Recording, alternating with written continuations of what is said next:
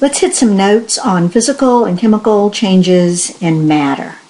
You need to be able to recognize when a change is physical or when a change is chemical so that when you go into the laboratory, you know what to look for to make sure that you're correctly identifying these changes in matter.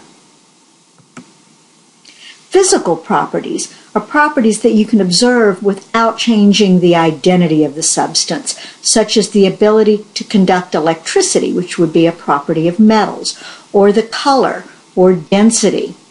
Melting point, boiling point, density, melting point, boiling point are all very distinctive ways of physically identifying a substance. These are published values that you can look up to help you identify a substance malleability and ductility, as well as conductivity, are primarily for metals and give you those physical properties that allow you to change the form of the metal without changing its identity. Index of refraction is a rather unique physical property. I'll do a demonstration of it in class, but it's the ability to absorb and reflect light based on properties of a substance. Physical properties again change the appearance without changing the composition of the matter. So terms like melting, dissolving, boiling, phase changes, these are all physical changes. It certainly may look different to the eye, ice and boiling water, but it's still composed of the same substance, water. So you have not made new stuff, you simply have changed the appearance of that matter. Chemical changes change the identity or the composition of the matter. And it's going to look very different. As we just said, boiling water and ice don't look the same. We know from experience that they are. So just looking different is not going to be quite enough. You actually have to create a new form of matter. And there are several things that you look at to give you those hints. Just looking different is not going to be quite good enough. Indications that you have undergone a chemical reaction or made a new form of matter is that large amounts of energy are absorbed or released. So anytime there's fire, you can be sure that you have a chemical change. You have indeed made a different form of matter. An unexpected color change, one that cannot be explained. So if you put blue food coloring into water and the water turned blue, that's not unexplained color change. So you're looking for forming a new form of matter that has a completely different ability to absorb and reflect light and therefore a different color. Anytime you have a liquid or solid state of matter and you form a gas that was not there originally, so those gases are produced, then that's also indication of a chemical change. Not where you're simply vaporizing or melting something, but actually forming a gas that was not there before. Gases are released. For example, if you took sodium carbonate and added hydrochloric acid, you would get sodium chloride water, oops, and carbon dioxide gas. You might not see the formation of these two, but you would definitely see the bubbles of carbon dioxide.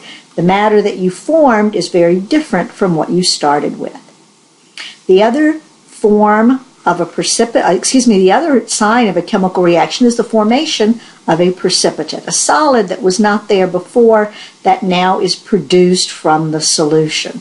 So pouring two liquids together and seeing the formation of a solid would indicate that you made new material, new substances with different properties and different chemical formulas, a chemical change.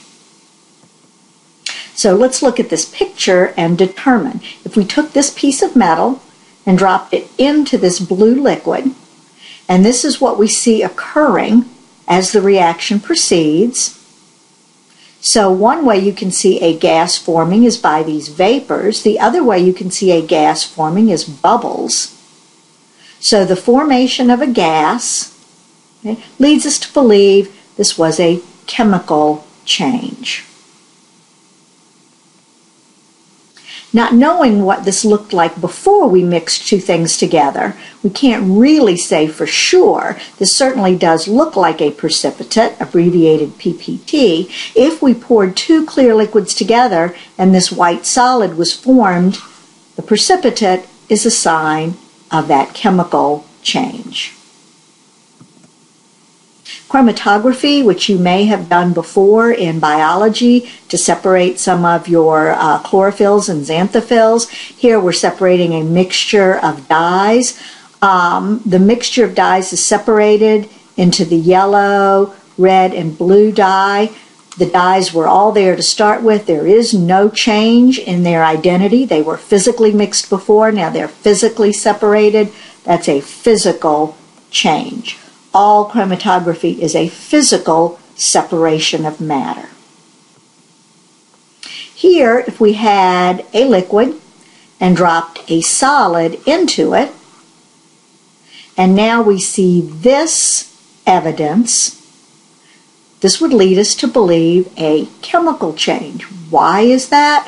Because this is the formation of a gas that cannot be explained by the presence of solid and liquid. So this gas is a new substance. The chemical reaction for this would be calcium plus water. So water was the liquid, calcium's the solid.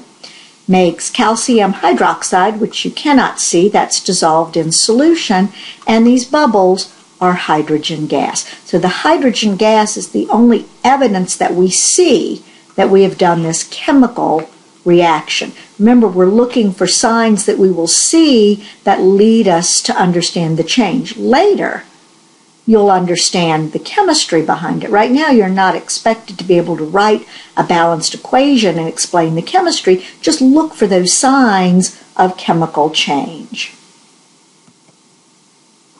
Here, heating what appears to be water would lead us to believe we have gone from liquid water to gaseous water. We have stayed the same. We have changed the physical state, so that's a physical change. Anytime you filter out a solid from a liquid, so here's sand and water, the separation of this certainly requires no chemistry. There's simply a change uh, that we use the different densities between the liquid and the solid and the different solubilities that allow us to separate the sand from the water, a physical separation. Fire, anytime there's fire, anytime you produce large amounts of heat energy, you are looking at a chemical change. Okay? That chemistry comes from the wood, so let's say that's some carbon hydrogen compound, XY, plus O2 in the air gives us CO2 and water, both of which are vaporized by the heat, okay? And this heat, which lets us know a chemical change did occur. The matter that we formed is not what we started with.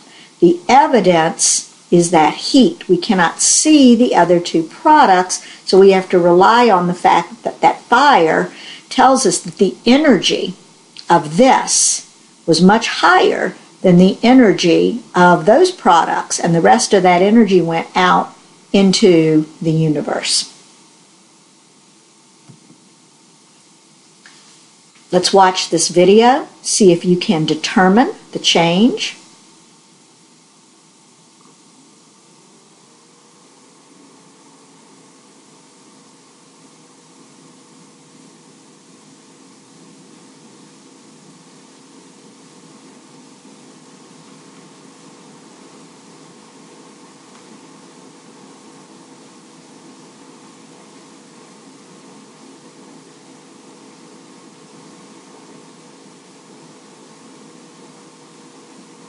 What type of reaction do you believe this to be, and how would you support your answer? Let's look at another video.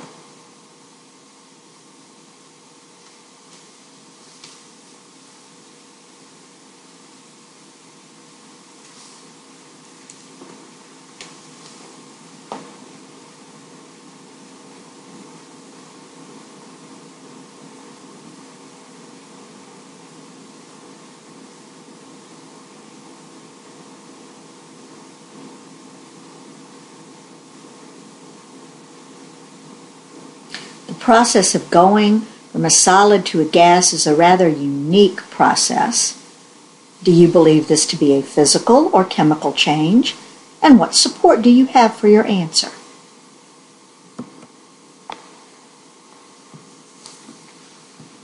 This is the element gallium.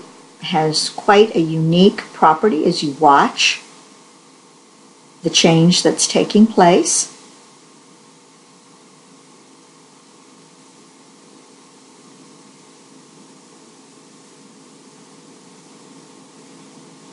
Based on what you see occurring, do you believe this to be a chemical change in matter or a physical change in matter? And based on what you see, what evidence do you have to support that?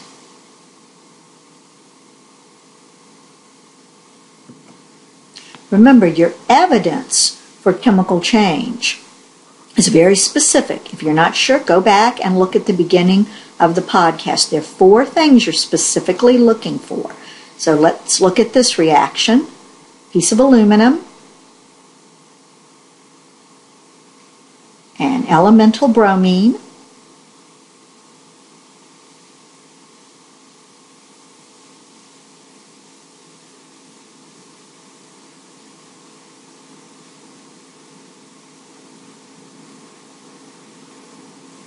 Sometimes you have to be patient.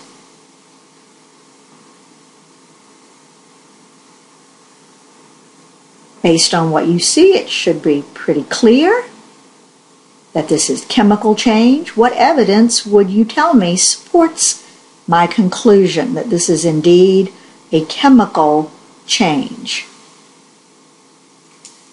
If we were to write the chemical reaction for this, we would have aluminum metal and bromine gas. This would be a synthesis reaction forming aluminum bromide, which is AlBr3. So notice they don't just get glued together.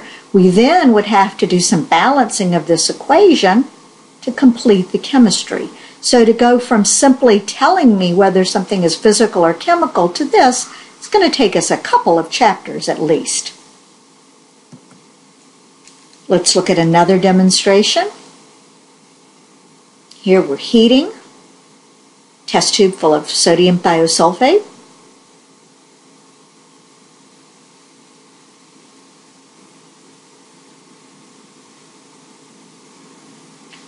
Pouring it into a crystallizing dish. And adding a seed crystal. Make your observations and determine physical or chemical change based on what you see alone.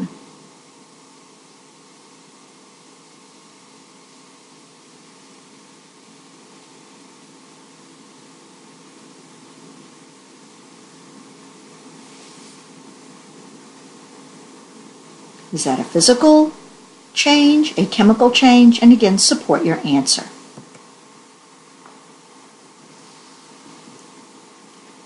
Remember, all burning is chemical. This video shows some of the formation of the new forms of matter that you often don't think about when you're burning.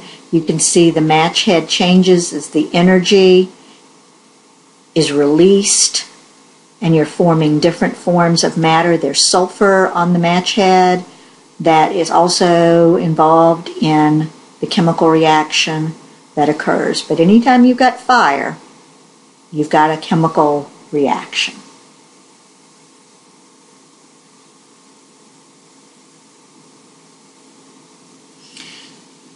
So go back, if you're not sure on how you would classify physical and chemical changes, go back, do a review, answer the questions, and we'll be going into lab to see if you can figure it out when you're actually doing physical and chemical changes in matter yourself.